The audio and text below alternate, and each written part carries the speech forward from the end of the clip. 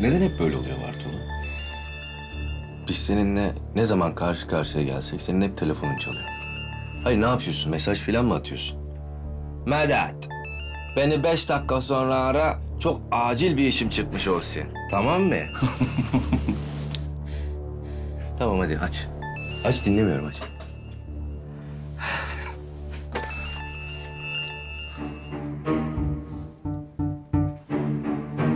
Efendim?